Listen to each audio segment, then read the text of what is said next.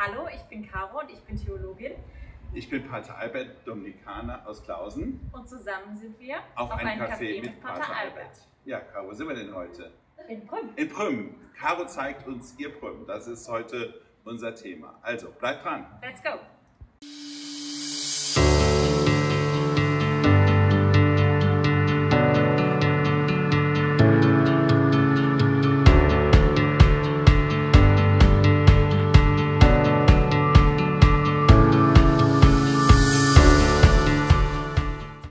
So, hallo Caro, wir sind jetzt hier ja, am Hauptplatz in Prüm.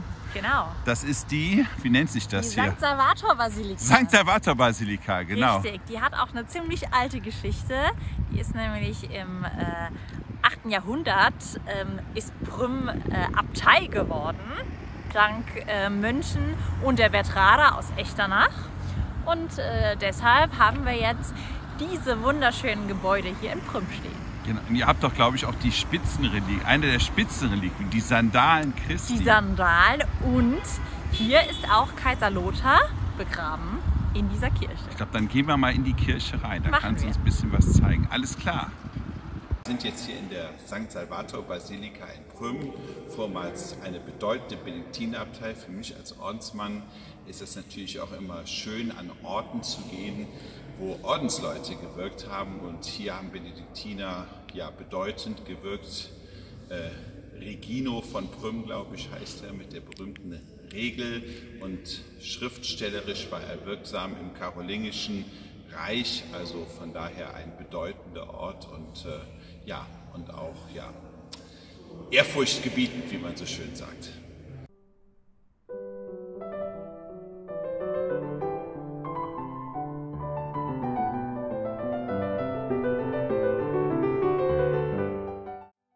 Caro, wir sitzen jetzt hier an einem schönen Ort in Prüm.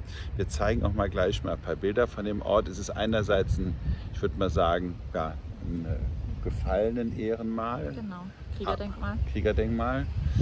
Aber es gibt, steht hier auch eine Kapelle. Ja, die St. Wendelinus-Kapelle. Was hat es mit der Kapelle auf sich? Naja, es ranken sich ja viele Sagen um die Springprozession. Und hier hat die Springprozession äh, wohl mal angefangen. Mhm. Ähm, also nicht die Prozession an sich, sondern es gab früher wohl auch eine Springprozession rund um Brüm. Mhm. Ähm, ja, wir hatten auch neulich einen Vortrag darüber. Ähm, und für die Brümmer ist die Springprozession heute noch total wichtig, denn hier beginnt die Springprozession nach Echternach bzw. bis zum heutigen Tag. Bis zum heutigen Tag. Da Aber gehst du immer mit. Ja, dieses Jahr leider nicht, aber nächstes Jahr auf jeden Fall wieder. Dieses Jahr hatte ich andere Dinge zu tun. ja, stimmt. Da können wir vielleicht gleich auch noch mal drüber reden. Genau. Aber jetzt an der Basilika, ja, die wir ja auf jeden Fall ja, genau. in diesem Video die ist sehr noch. schön. Die haben wir genau, die haben wir schon gezeigt oder werden, wissen wir nicht, wo wir jetzt diesen Film hier einbauen ins Video. Auf jeden Fall, äh, es war schon oder es kommt noch. Genau. Also von daher, genau. Also Prüm hat viele, viele tolle Sachen. Also es ist eine altehrwürdige Ort, Stadt ne, mit einer großen eine Geschichte. Kleinstadt. Eine Kleinstadt mit einer großen Geschichte, auch für ja, das geistige Leben, geistliche Leben hier und auch die, ähm, die, das gefallenen Ehrenmal hat ja auch sozusagen natürlich, wenn man hier guckt, sind viele Namen und da bei der letzten Tafel kann man sehen, durch die Explosionskatastrophe vom 15. Juli 1949 umgekommen. Das ist nämlich quasi ja gewisserweise einige Jahre nach dem Krieg nochmal was Schlimmes passiert. Genau, die Franzosen hatten hier in Prüm ähm, da oben am Kalvarienberg, mhm. wie er heißt, ähm, ein Munitionslager. Und äh, das ist quasi vor wenigen Tagen, vor 75 Jahren, genau. explodiert es sind zwölf Menschen umgekommen und es hat quasi die Spitze von Prüm mitgerissen oder die Höhe von Prüm mitgerissen. Man sieht diesen Krater definitiv. Und die Kapelle, die da stand, mhm. die Kalvarienbergkapelle, ist ebenfalls äh, abgerissen worden. Der SWR hatte ja kürzlich auch einen Beitrag darüber. Das ist schon tragisch, dass sowas so kurz nach dem Krieg noch passiert. Ja, schlimm, eigentlich schlimm. Und dass auch durch die Stadt dann hier auch dann nochmal mit in Mitleidenschaft gezogen wurde. Also eine traditionelle äh, Sache. Und du hast ja dein Büro, wir gehen ja auch gleich nochmal in dein Büro. Äh, du hast ja dein Büro im ehemaligen Konvikt. Auch das Richtig. ist natürlich für das kirchliche Leben hier bedeutend, dass das Bistum Trier ja hier quasi ein kleines Seminar mal hatte. Also genau. Männer, die hier auf den Priesterberuf vorbereitet wurden. Weißt du, wer hier zur Schule gegangen ist? Nein. Oskar Lafontaine. Oskar, der berühmte, der berühmte, also von daher. Ja, genau. Und in dieser Schule, also in den Räumen dieser Schule hast du dein Büro. Richtig, beziehungsweise nicht dieser Schule direkt, sondern dieses Internats. Mhm. Ähm, genau, äh, ja. Und es ist auf jeden Fall heute schön umgenutzt worden.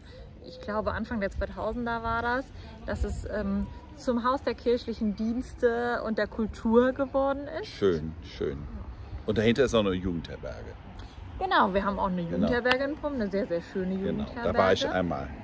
War ja. ich einmal. Es war sehr schön mit Messdiener, war eine schöne Sache. Aber mh, mm, wenn wir jetzt hier bei dem Internat waren, ja.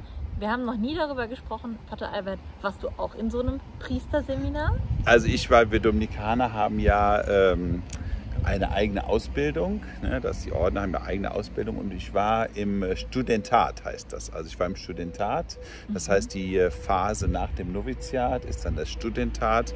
Und da war ich tatsächlich also zunächst in Walberberg, das es heute als Dominikanerkloster nicht mehr gibt. Äh, da waren wir etwa 15 Studenten und dann mit einer Unterbrechung, einer kleineren Gemeinschaft.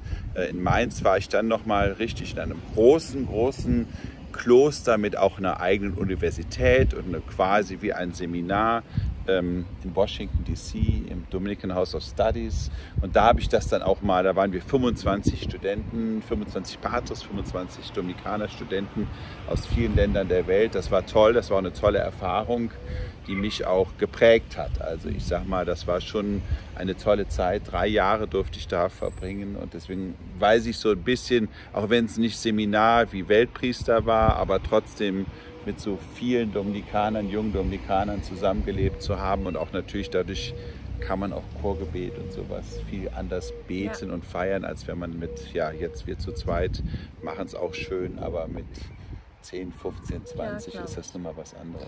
Ich meine, Washington ist schön, aber Brümmen wäre wohl noch schöner. Ja, genau, genau. Also von daher, genau.